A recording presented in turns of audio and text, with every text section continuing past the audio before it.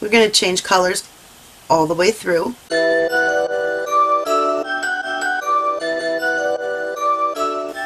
Ciao friends! Beth with Thimblehooks. Thanks for stopping by. Today's project is our sunburst. Remember we made a solid one and then we did the two-tone and now I'm going to show you how we change.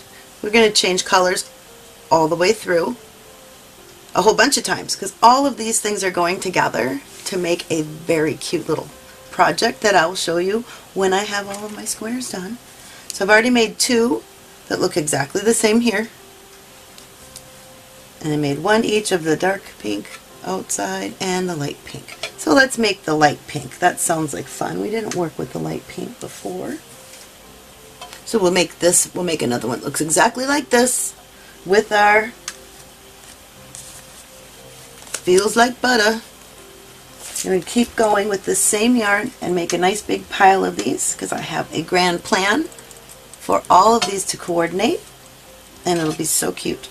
So we're going to make this one today. We do a lot of color changes and notice that my knots don't show. I'm going to use my Ebony Furls. Again, it's the 4 millimeter. That's the hook that I've been using for all of these other ones and I want them to be as close as possible. Start with a magic circle. If you're not familiar, I have a very quick couple minute tutorial on how to do it the easy way, which was just like that. It's done now. So simple. So there's our magic circle. Going to chain one and in our magic circle we are going to double crochet 16 times. And for this first row I like to mark this stitch so I don't lose it. And now we're going to put 16 total double crochets in our magic circle. And here's my last double crochet in my magic circle pull our circle closed and now to finish that round finish this circle we just slip stitch into our mark stitch done take out the marker we don't need him anymore the rest of our things are really easy to find all of our landmarks will be very obvious okay for the second round I'm going to stick with the pink because we're making this one again stick with the pink chain one and now we're going to make three yarn over clusters so that is yarn over, go through the stitch, pull through and pull up. Yarn over, do that same thing again. Pull through and pull up. And yarn over through the, all through the same stitch, pull up. One, two, three, four, five, six, seven loops on our hook. Yarn over, pull through everything and chain one to close your little puff. All the way around we'll have 16 puffs. We'll do that one more time through the stitch, yarn over, pull through, pull up, yarn over, pull through and up, yarn over, pull through and up. Do that three times, you'll have seven loops on your hook, yarn over, pull through everything, and chain one to close. Do that all the way around. And here's my last one. Don't forget the last one. You want to have 16. Yarn over, pull through, three times. Pull through, chain one to close, count your stitches, make sure that you have 16 puffs, and then we are going to be done with pink. So find the space in between your first puff and your second puff. Put our hook in there and just slip stitch. Now we've closed our circle for round two and you can finish off.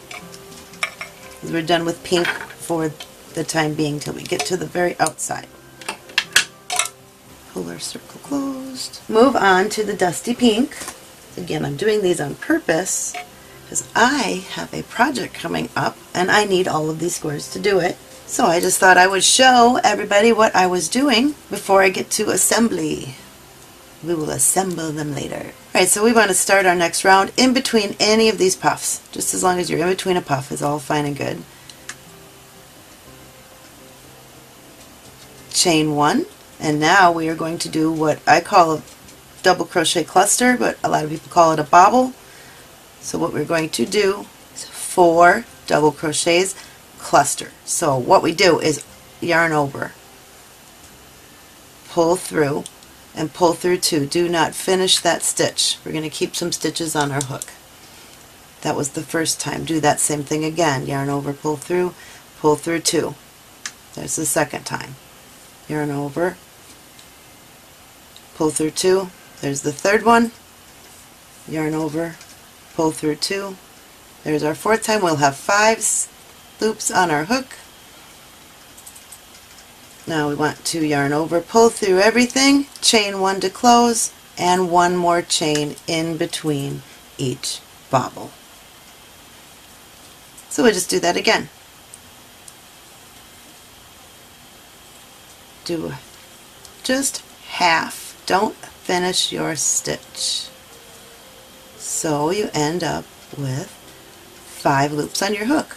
Pull through, chain one to close, and chain one more. That's our sequence all the way around. You will have 16 bobbles, and I will meet you when you get done with your bobble number 16. And now here will be my last bobble. So one, two, three, and four. Five loops on my hook, yarn over, pull through all of them, chain one to close, and chain one more. And now to close around this round, find the space in between your first and second bobble,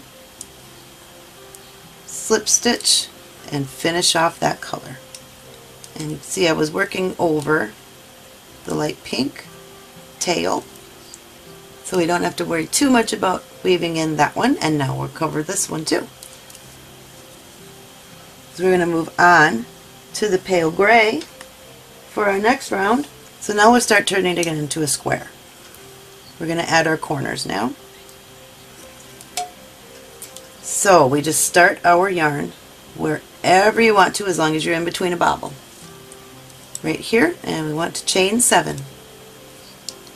One, two, three, four, five, six, and seven and we're going to hold this yarn tail up so we can keep working over it. But in this same chain space right here, we want to also add three triple crochets, which is two yarn overs. Pull through two, pull through two, and pull through two.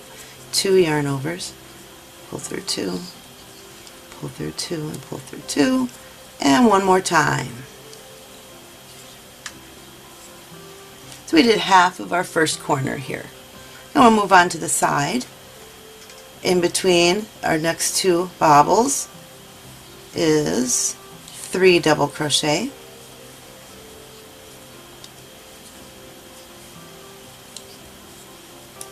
And the next one is three half double crochets. To yarn over and pull through everything. Pull through all three and pull through all three in the next space. Now we're going to cover the both of these tails. So keep both of those available way up here so we can stitch over them. But in between the next two bobbles, this is another set of three double crochets. So we're making a side of our square.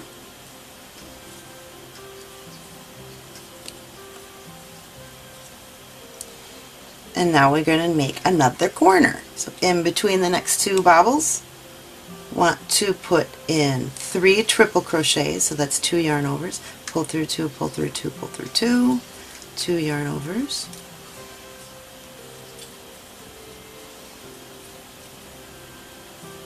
and three,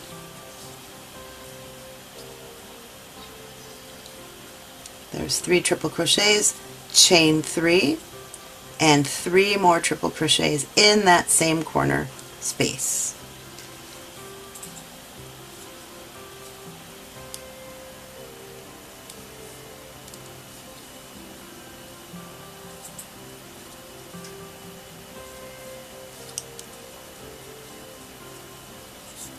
And there's a corner. That will always be a corner and then our sequence for the next side is still going to be three double crochets, three half double crochets, three double crochets. So that's our sequence all the way around. Three doubles, three half doubles, three doubles, and a corner. And here's my last space, so it gets three double crochets, gets a little granny cluster right here. One, two, three. And now we have to finish this corner. So what we have here is a chain 7, which is uh, chain 3 in between and 1 triple crochet. So what we need to do is add two more triple crochets in that same space. One and two and slip stitch into the fourth chain so you still have your chain three up top. One, two, three. So we're going to slip stitch right here. And you see, it looks like every other corner that way. No big knot anywhere. I love that little sneaky thing. One more round is all we need to do. So we can finish off this gray. Snip. Pull. Pull that nice and tight.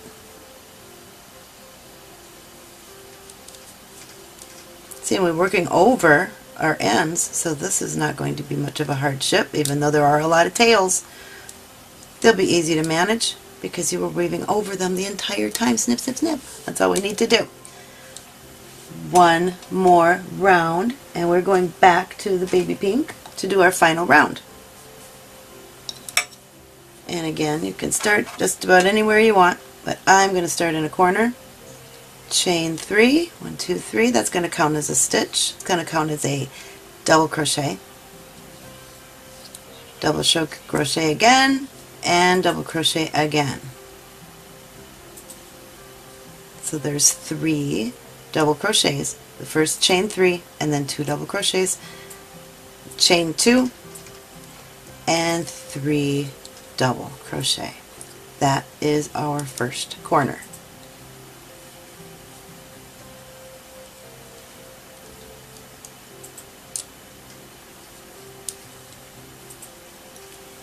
Now in between every cluster, down this line, down this side, we're going to put in three double crochets in between every cluster until we get back to the corner.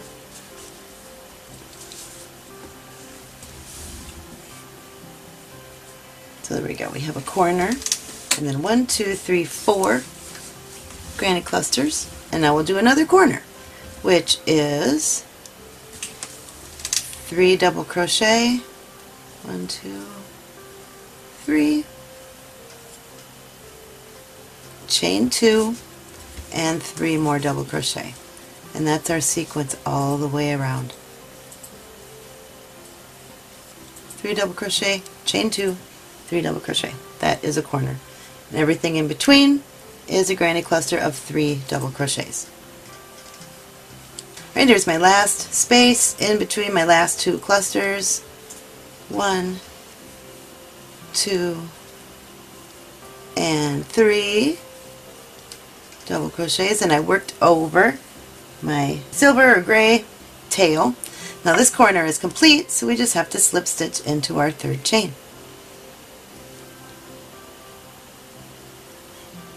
And finish off the pink.